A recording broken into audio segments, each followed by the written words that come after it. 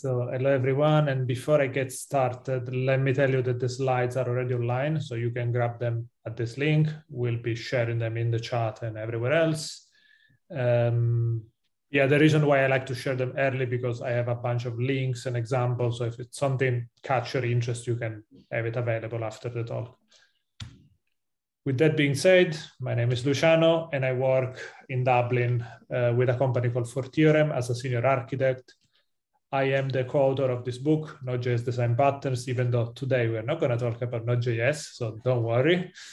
Uh, in any case, feel free to connect with me. I have a blog. I'm very active on Twitter. You can find me pretty much everywhere. Always happy to chat and learn more. So feel free to connect.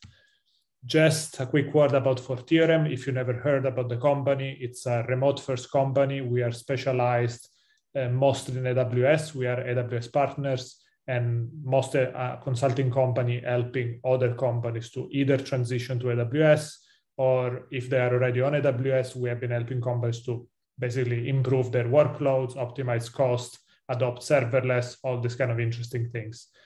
We are also hiring, so if that's something that interests you, give me a shout after the talk. Now, quick uh, word of warning, I'm not a Rust expert by any means. It's something that I started to study in my own time in the last two years, more or less. So I'm doing that as a hobby. I haven't found yet the opportunity to use it professionally. So keep that in mind because probably I'm going to say a bunch of stupid things or not accurate things. So keep that in mind. Uh, things that I'm doing to, to learn Rust as a hobby, I'm doing live streams every Monday with two friends of mine, Eugen and Roberto. So if it's something that interests you, we're trying to solve Advent of Code. Yesterday, we tried to do that on a Raspberry Pico. So we are experimenting even with Rust on bare metal.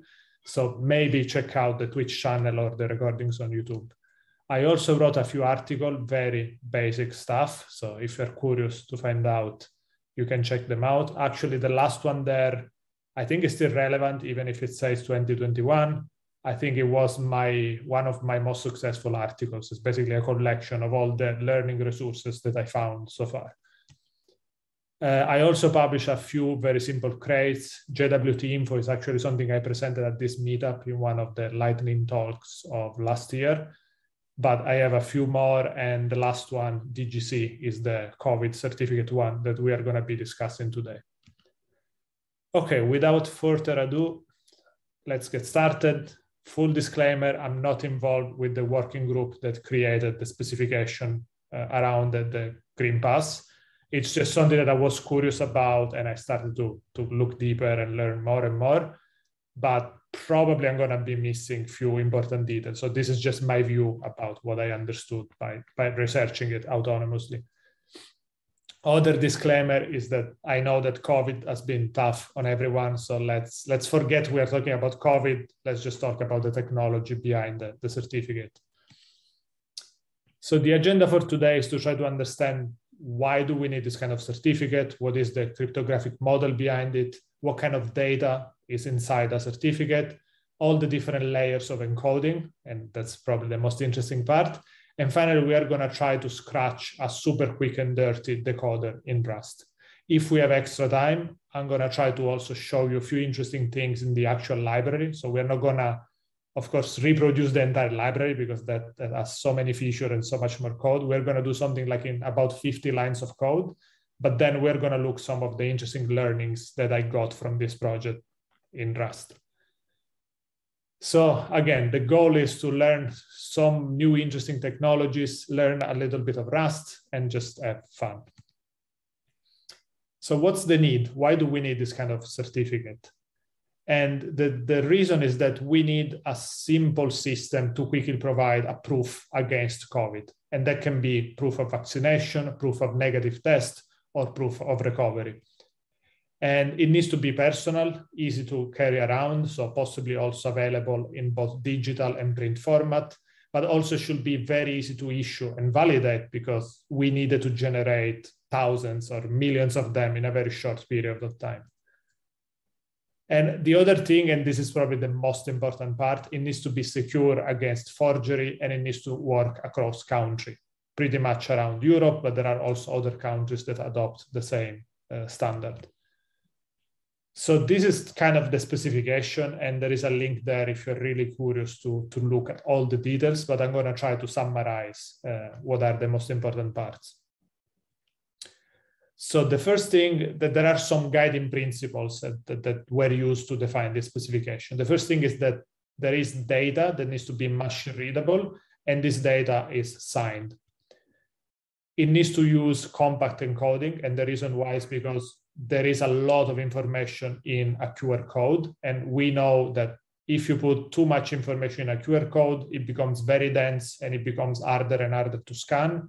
So the idea is that try to find a balance that allows us to pack as much information as possible without degrading too much the QR code and making it harder to scan. And the other interesting thing is that the commission, the, the committee that tried to define the standard, they, they thought, okay, let's try to use as much as possible open standards. Let's not try to reinvent the wheel. And I suppose because it's a good practice, but also because time constraints were really pushy. So first of all, let me explain very quickly what is the asymmetric cryptographic signatures that are used in the Uh, Green Pass. You probably know this, but I just want to give you a super quick recap just in case. So the idea is that there are two keys, one private key and a public key. And basically there is a document. In this case, you can imagine the QR code itself is a document. And somebody that has the private key can sign that document using the private key. At that point, anyone that knows the public key and it's called public because anyone should have access to that key, can use that key to check the integrity of that document. They can check basically using the public key that the document was actually signed using the private key, which basically tells us that that trusted authority, that owner, is actually being verified as somebody that signed that document. So what's inside a certificate? There is a lot of information, already said that, but this information is structured and there are a number of layers.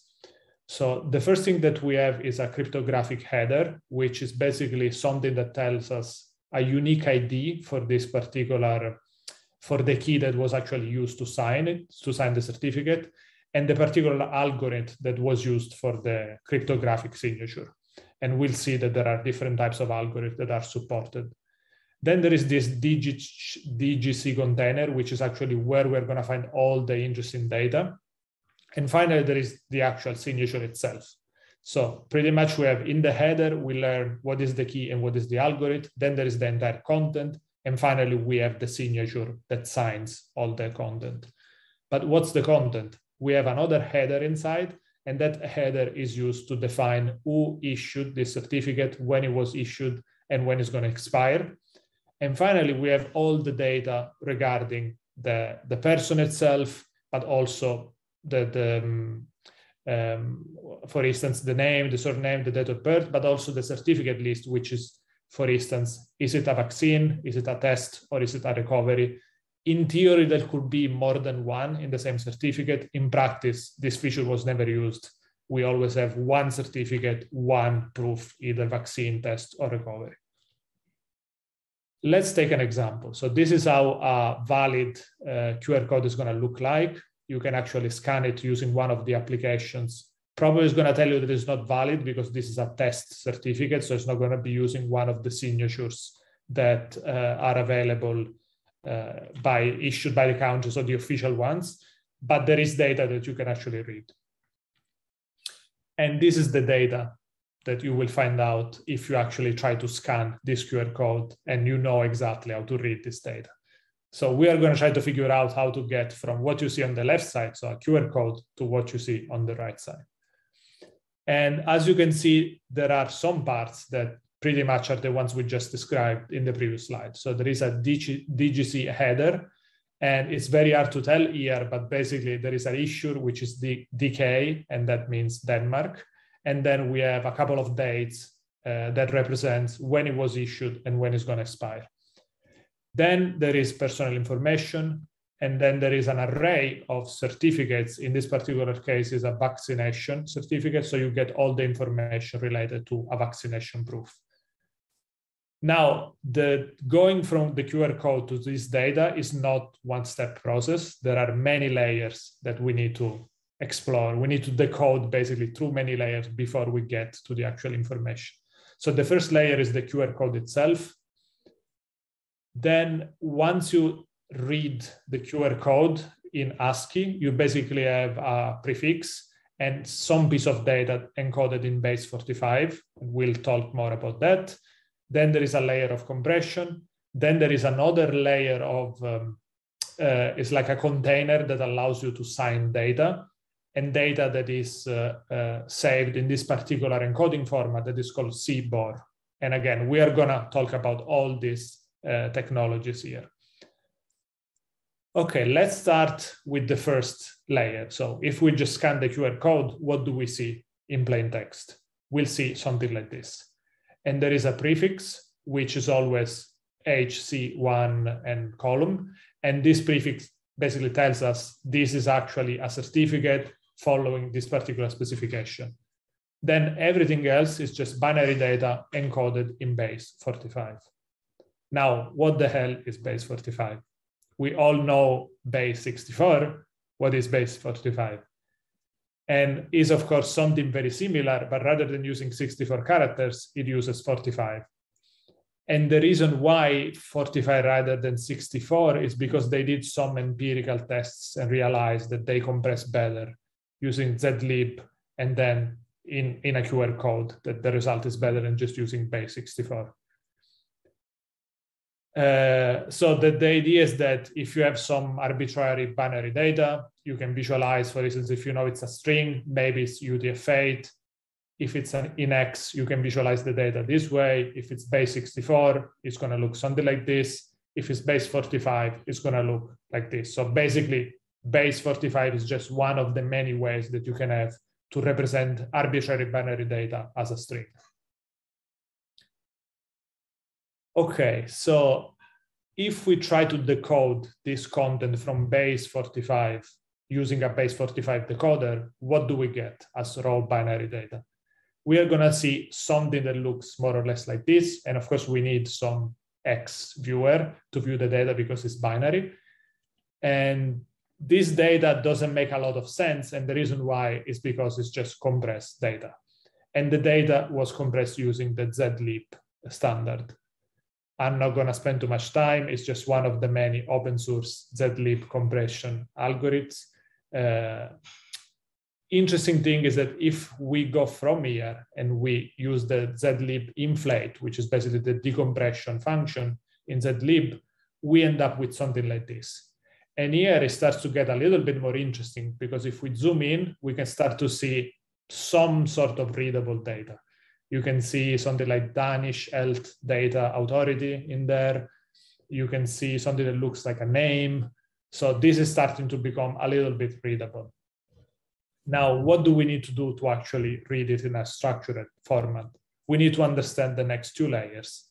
And the next layer is this specification called COSE or CWT, which is effectively a standard that allows us to take a document, a structured object, if you want, and sign it. And this uses uh, another specification, another encoding format, which is called CBOR. So we need to talk about CBOR first to understand CWT and uh, the signature algorithm there. What is CBOR? It's pretty much like JSON, but in binary. So in JSON, we have different data types and they, the data can be nested for instance, you have this generic concept of a value, and a value can be one of these different types. And if you look, for instance, at array, array can have mixed values, or meaning values of different types. They can also contain other subarrays, or they could even contain objects. Similarly, for an object, you can have strings, you can have arrays, you can have nested objects.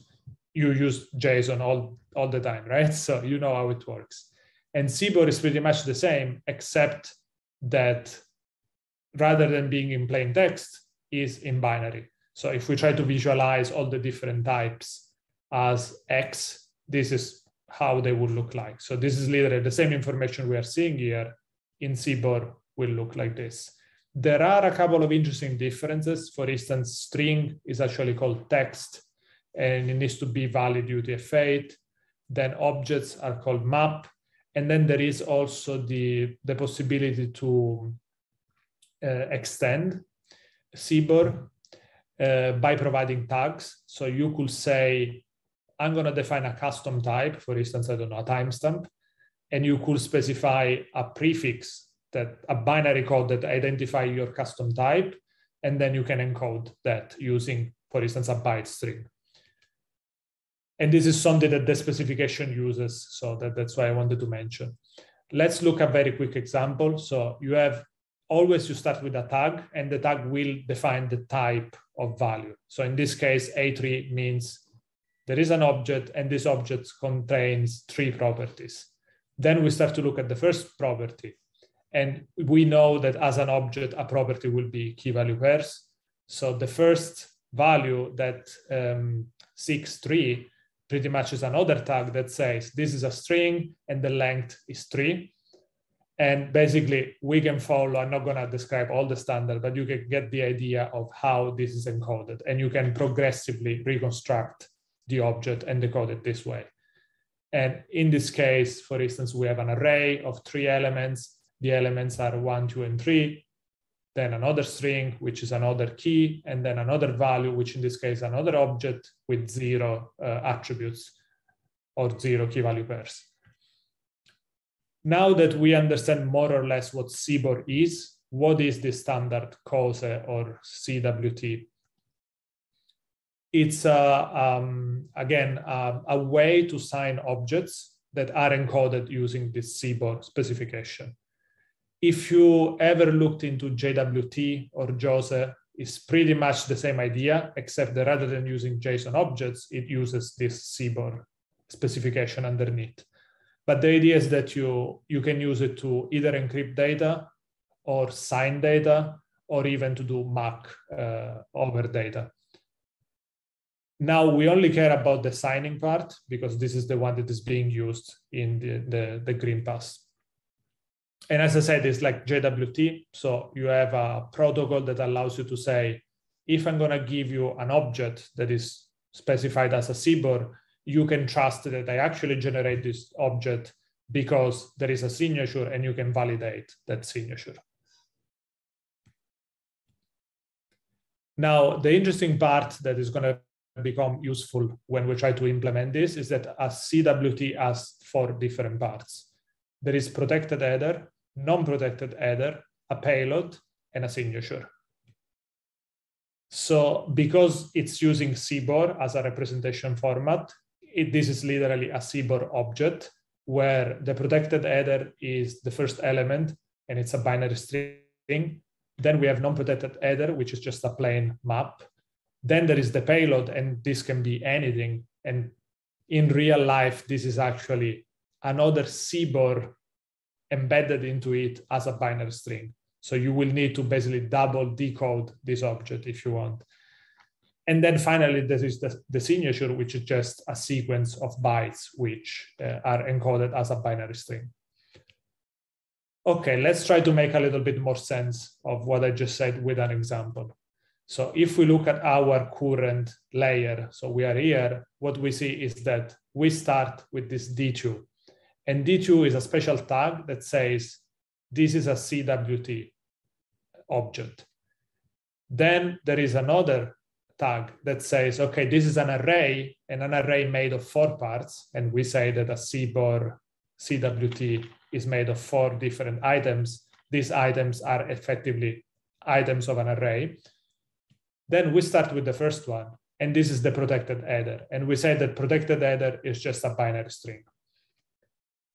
Then we have the unprotected header, which is a map object. In this case, it's empty. By the way, I haven't seen this used a lot in the case of the green pass. It's something that is in the specification, but most of the time will be an empty object. Finally, we have the payload, and this is where all the information lives, and it's a binary string. And finally, we have the signature, which is what we can use to actually validate that this particular certificate is authentic.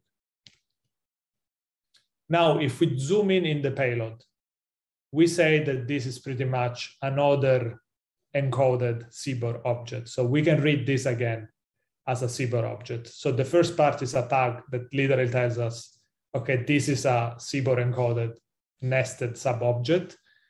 And then if we try to decode it using the algorithm that we briefly described before, we actually finally get to the data that we saw at the beginning. So at this point, we should have a clear idea of what are all the layers and what we should be doing to actually decode a GreenPass. The first thing we need to do is remove that HC1 prefix because that, that's just telling us this is the specification, this is the format, then we can just remove it. The remaining data is encoded in base 45, so we need to take that string and decode it.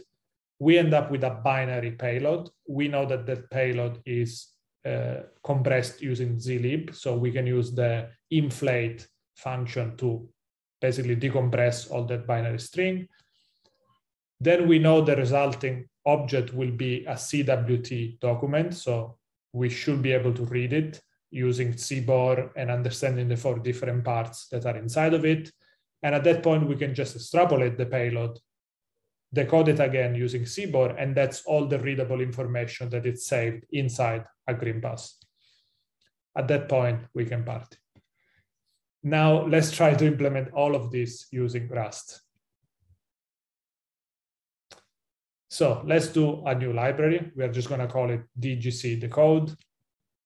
And at this point, we can start with this template. So I already put there um, the same uh, pass that we saw before in the example as a string. So we are not going to uh, read the QR code. We are going to be starting from the next step where we already have the information inside the QR code.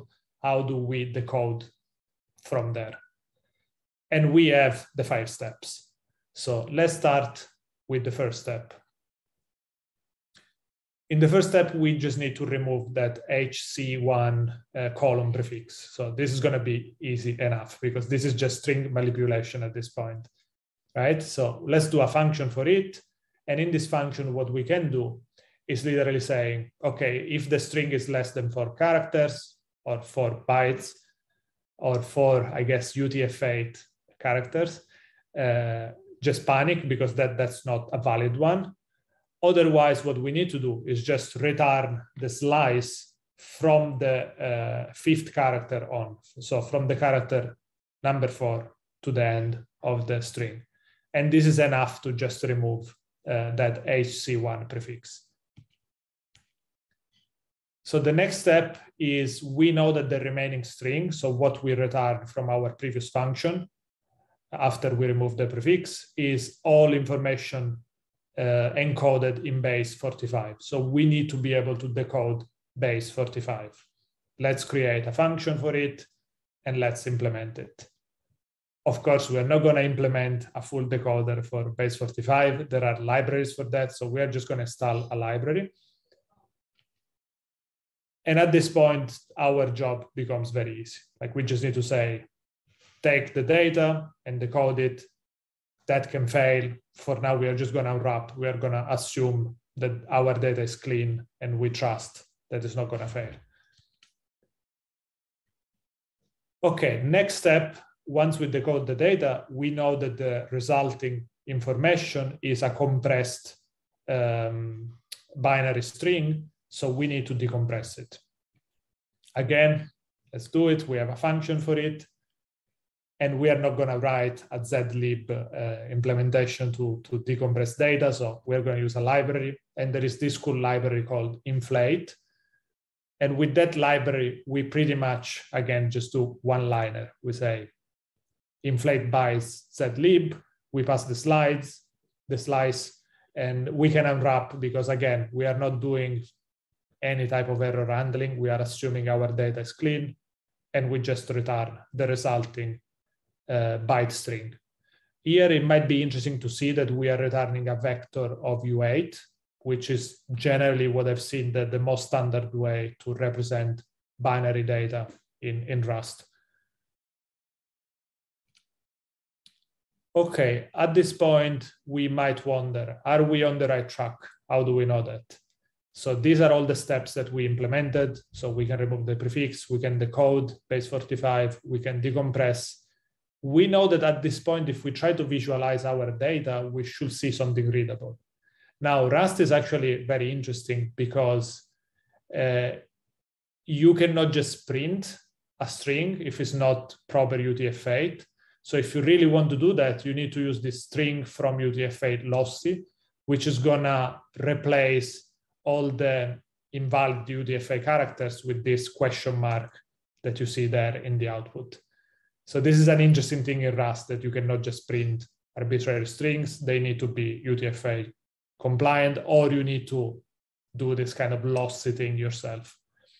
In other languages, you just get the, the question marks out of the box. In Rust, it will actually panic if you try to do this without uh, explicitly using this lossy variation. Now, you can see here that we already start to see the readable information that we saw before, so probably we are on the right track. You can see Danish Health Data Authority and so on. Okay, so the next step is probably one of the most interesting at this point. We need to read that content, and we know that content is encoded as CBOR, and that it's a specific type of object which follows that CWT specification. So we do this function called get CWT payload, but surprise, we need to use a library to read CBOR because implementing all of that will probably take days on its own. So it's better to use a library. This library is actually pretty good. I really like it. It's very simple, but has all the features that you might need.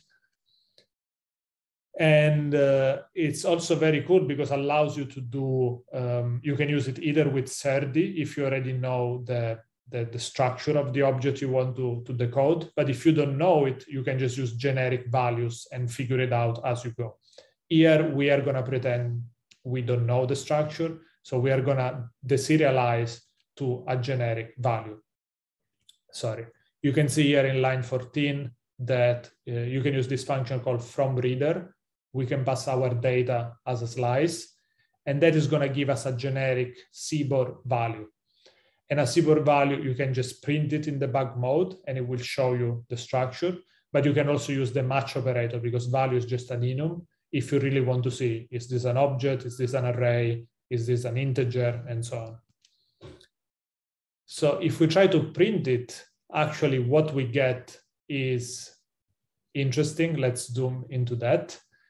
Because what we see is just the structure. So we see that the first thing is a tag, which is 18, and this is the special tag that tells us this is a CWT object.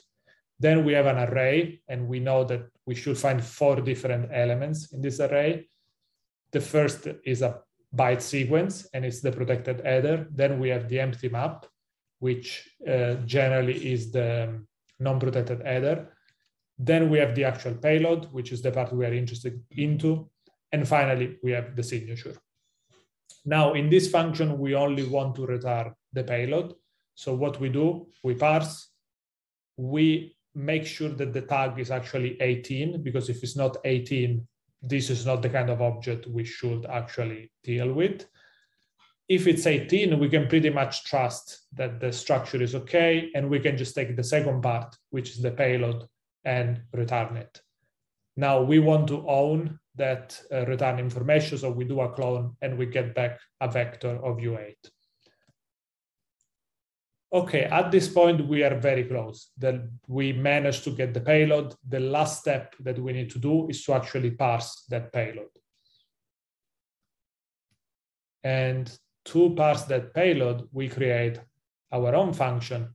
And what we want to do is, again, we know that that payload is going to be another CBOR information. So we can keep using the same library. We can keep using from reader here and get a value that way. And this is going to be a generic CBOR value.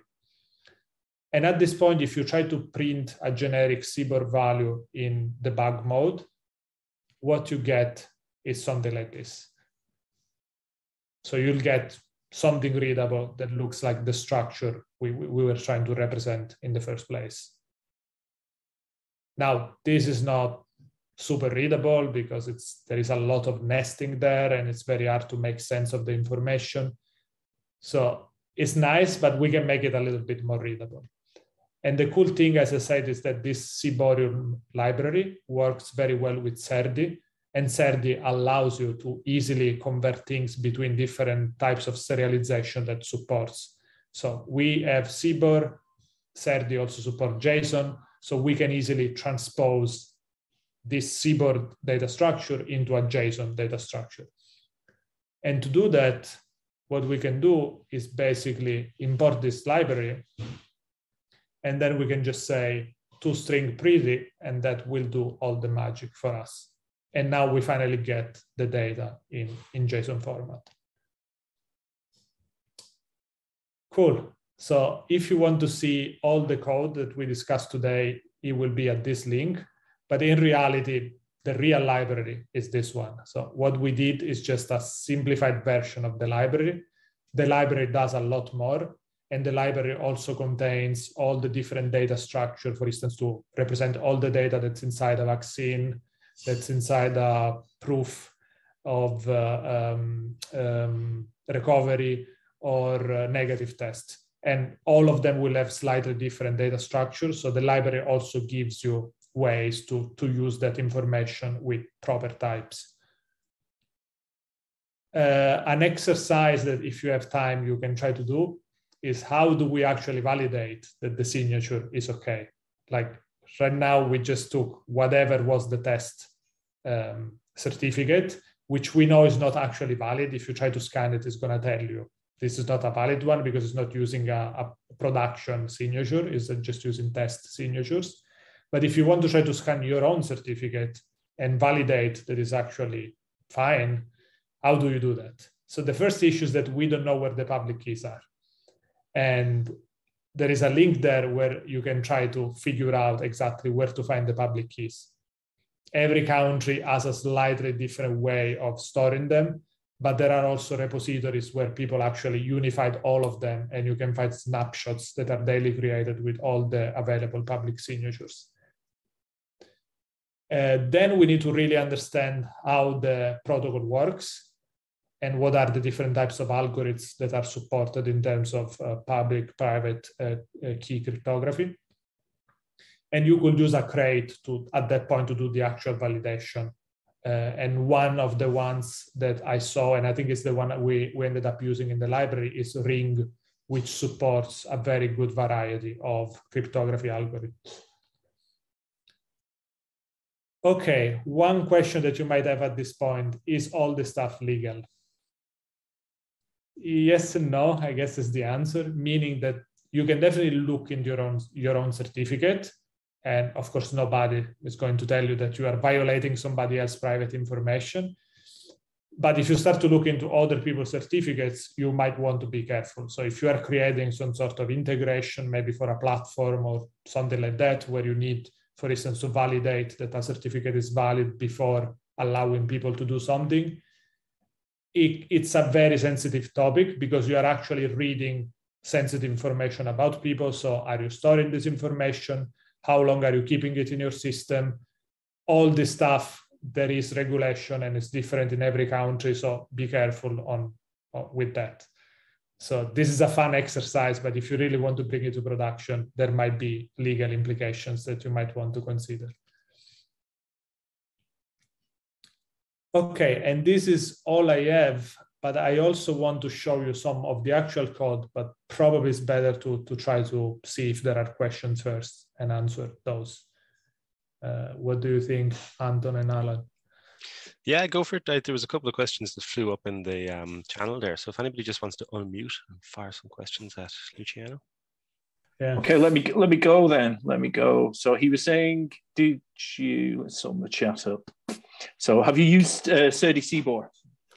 I did use it initially, but then I realized it was very unmaintained. It was I think the last uh, update was like three or four years ago, mm.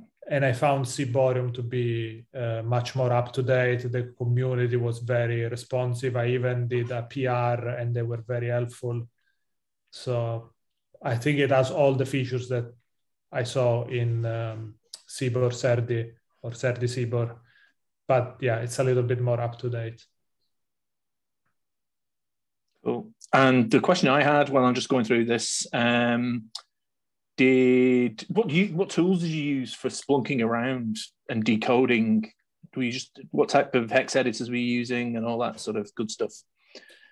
Yeah, so there is a pretty good documentation on GitHub. So actually, I, I was impressed by seeing how open this entire process was. Mm-hmm. And you can find all the conversation that these people have on GitHub as issues.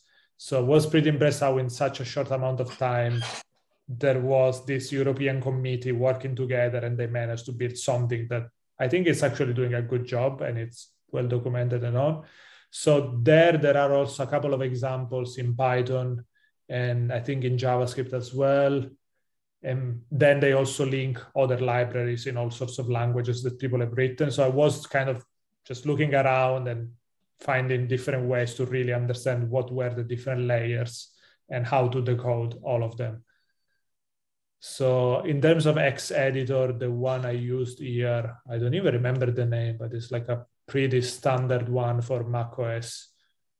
Uh, is it called X or something like that? I'm not really sure, but I can dig it out and, and let you know.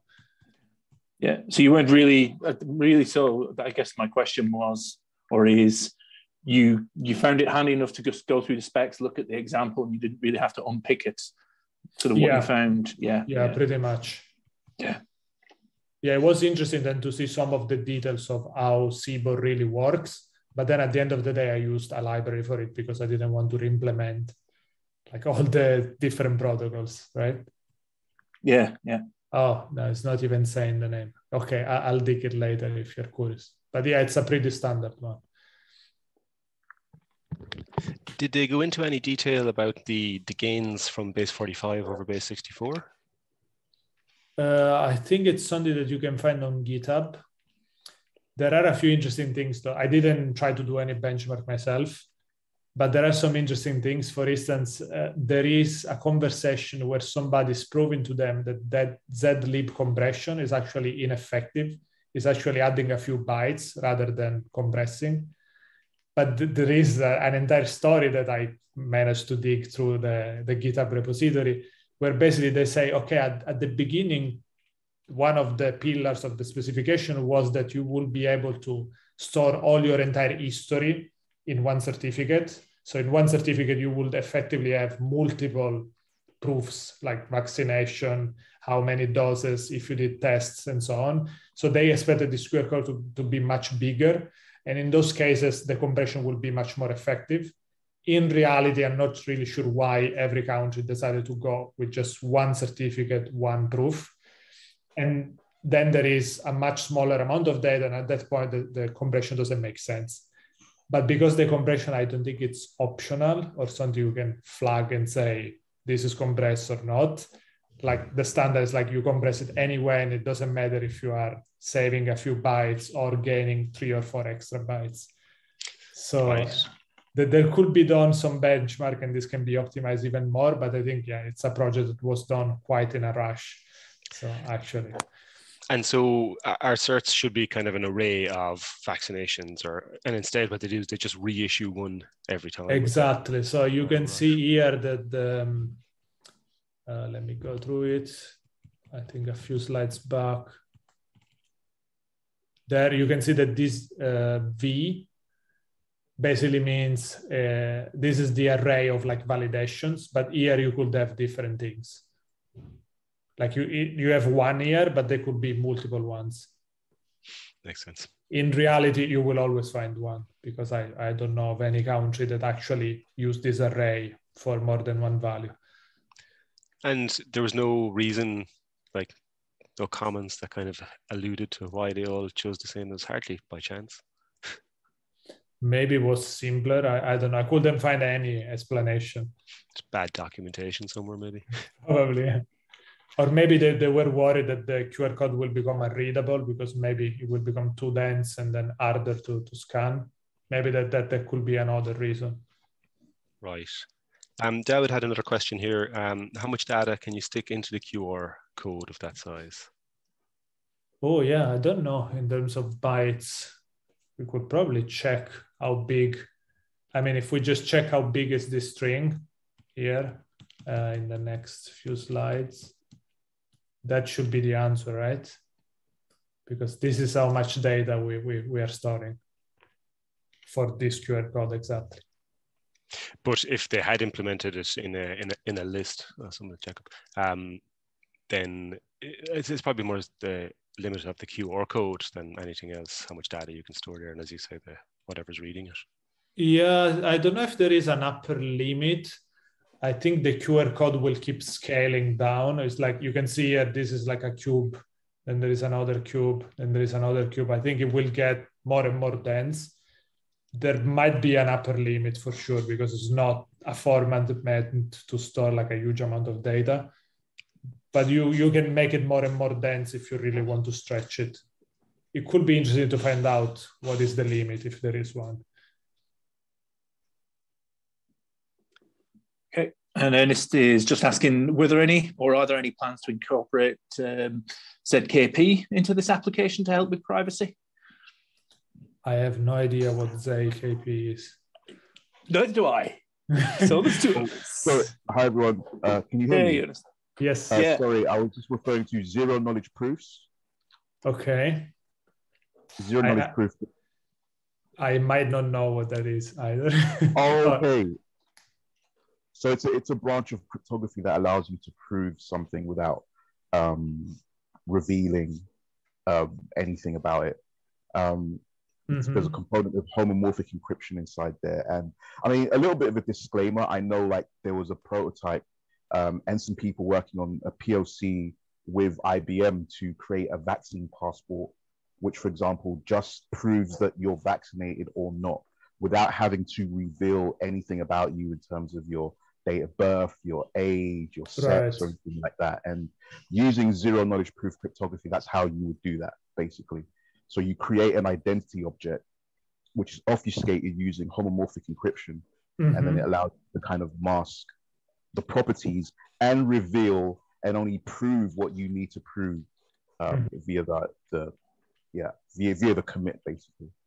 Yeah, one interesting thing that I didn't mention that maybe is relevant to this question is that if you look at the spec, they really thought about this the usage of this particular certificate as in you'll be able to see some personal identifiable information like I don't know name and date of birth and then somebody needs to come to you if you are an authority trying to verify the certificate with a proof of identity some sort of i don't know personal id and the Mm. certificate and then you you need to match the two because one of the common attacks that at this point i think everybody knows is that you get somebody else's certificate and you go around with that so if nobody's looking for a match between that certificate and your own personal documents then the whole system doesn't work anymore now maybe with uh, zero zero knowledge um, you could do something around that but I, i'm not sure I, I don't know that well enough Interesting. Okay, that's really cool.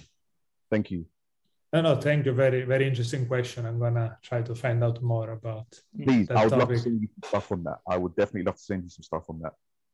please do yeah thanks Yeah, Quite a bit of that actually is uh, the work for that's done in Dublin. So on the Digital Health Pass, it's done in Mulhuddart with IBM. nice i didn't know that Need to need to get another speaker, speaker plan there. See if they're doing anything Rust up there. that's pretty good It's a lady called Mary Wallace who heads that up. Um, so yeah, we're, we're, we're sharing favorite hex editors here. um, 010 is Matt Davis's favorite hex editor. Awesome. Um, by the way if there is extra time there are a couple of interesting things that i learned from this project that i would like to share from rust itself like as a language but only before you, just have before you jump in, yeah, no, absolutely. Just before you jump in, uh, did we talk about the benchmark?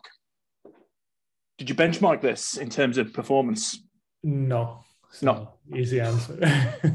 Yeah, D- David always David always asks the difficult ones there.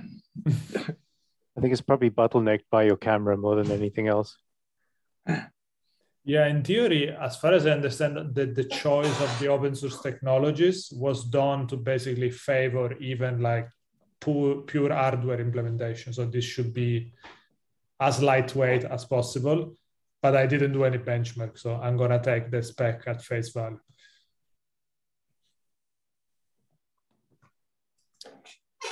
Okay. Okay, you're going to dive into something. Eh?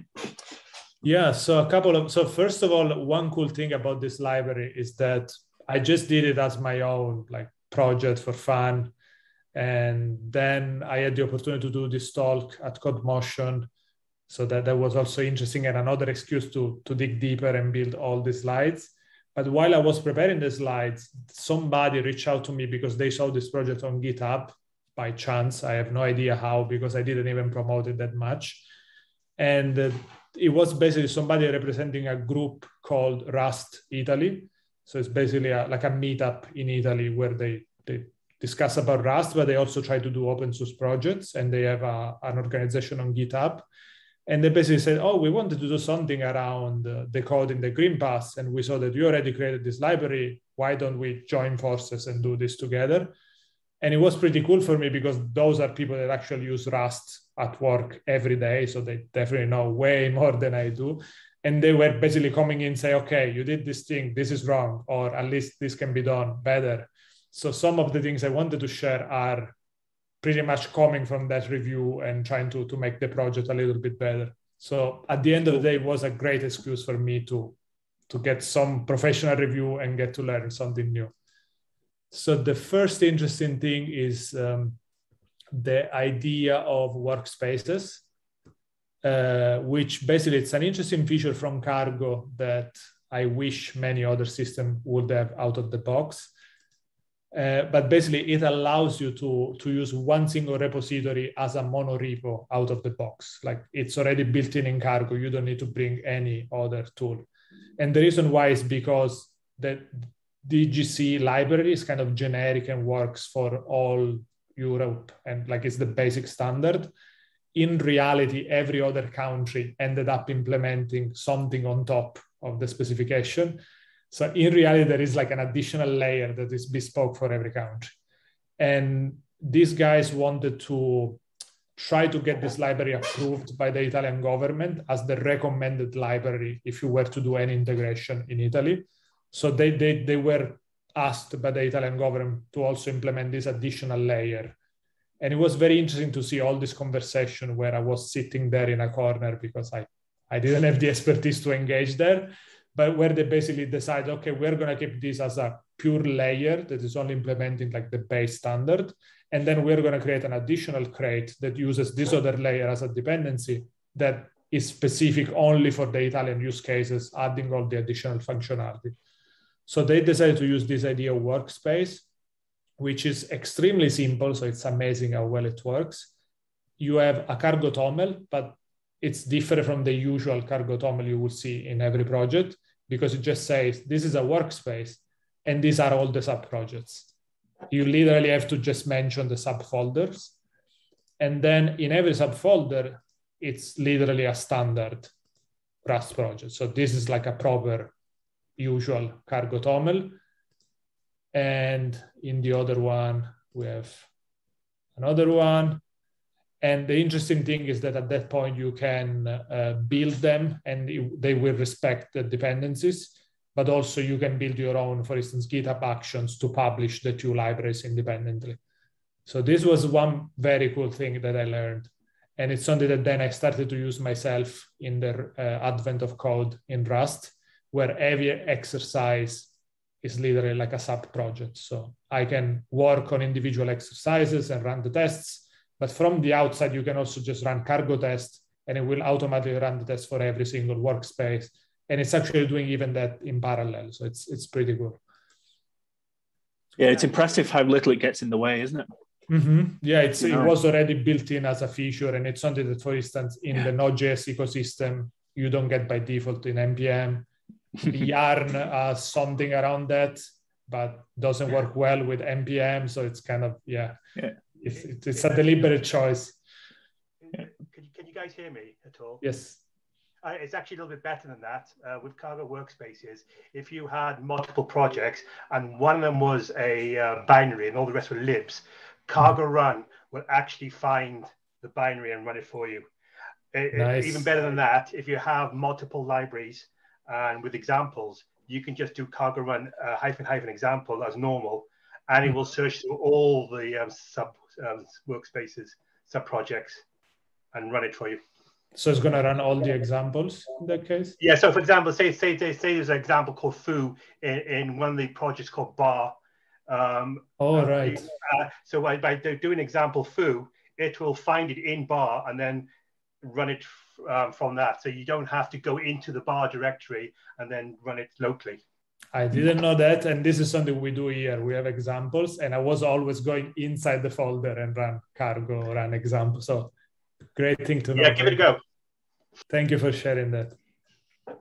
Okay, then the last thing I want to show you is another interesting feature that, uh, let me see if I can find the documentation here. So what, one interesting thing is that there is this concept of value sets that I didn't explain during the presentation. Let me make this a little bit bigger because I see people squinting. but basically the idea is that of course, be, because we want to keep everything as compact as possible, for instance, if we have to say, I don't know, Denmark, we say DK rather than say Denmark as extended. But also there are codes, for instance, for diseases, like COVID-19 is actually codified with this number or this string, or uh, different types of tests have their own codes, or different types of vaccines have their own code. So there is this concept that you could use an official value set to expand these IDs into more descriptive representations of the values. And this is something that we wanted to include in the library. So once you get an object decoded, you can just say look up values or expand all the values. So, so you can look up one by one, or you can even expand the entire object and, and get all the values in a more descriptive way, which is great if you're doing debugging it will give you a much more descriptive object rather than all these codes that possibly you don't know exactly what they mean. So I implemented this thing in a very bad way at the beginning. Let me see if I can find the PR. Yes, that's it. So all this red code is what the, the expert guys removed. But basically I was doing, okay, I'm just gonna do a lazy static. I'm just gonna create like a huge hash map. And then basically I have key value pairs that I can use for the lookup. And of course, this is a terrible idea. I didn't know any better at the time. And the better idea is that you can just use a match statement at that point because this is so static that it's going to end up in your code anyway. Why do you need to allocate it in the stack every time you run the, the, the system, right? You can just do a match as you go. And that that's pretty much more efficient. It's not doing any allocation. It's just using the, uh, the, the static uh, strings that are already in the binary basically for you. Sorry if I'm not describing this in the most accurate way, but I, I hope that you're getting the. And also that I, if I didn't understand it correctly, please feel free to, to correct me. I wonder if there's a macro that can take, say, a JSON file at compile time and generate this. Ooh, that could be an interesting one. I'm not aware, but I can see some good use cases. Definitely there is one here.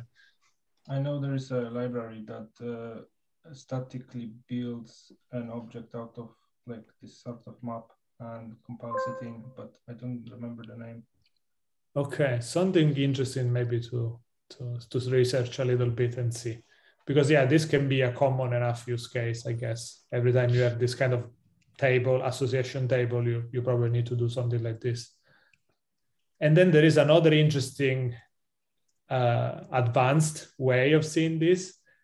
Let me see if I can get a decent, like there is a version two of this implementation.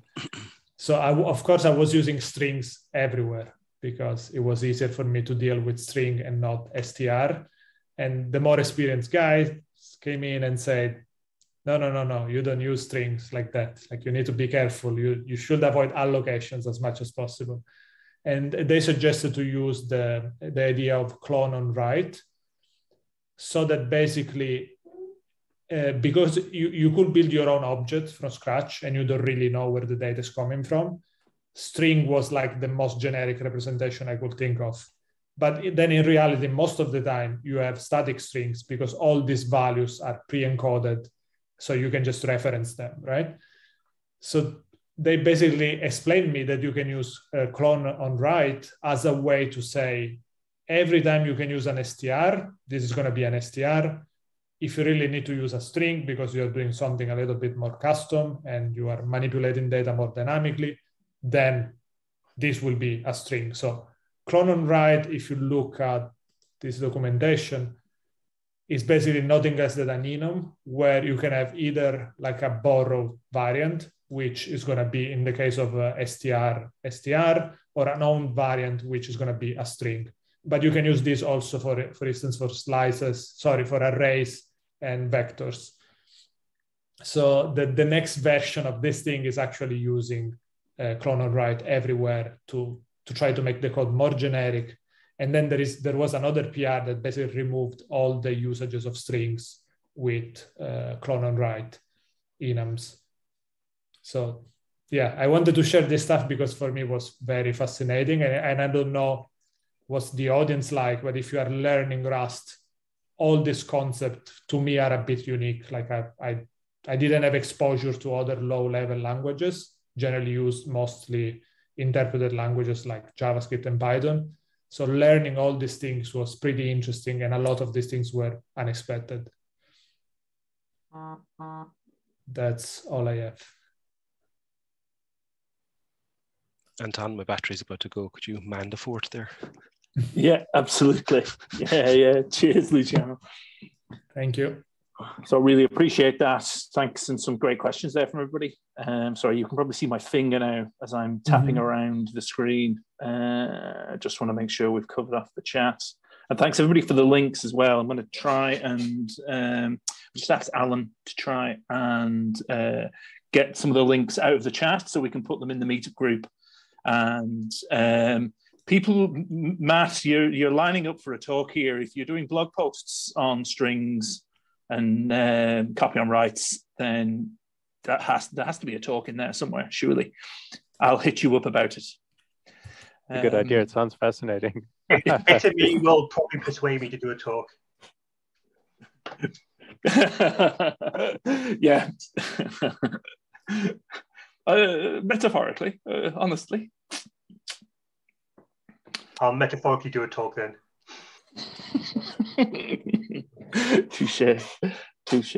Yeah. Okay. So cheers. Thanks, to Luciano, for putting the slides in.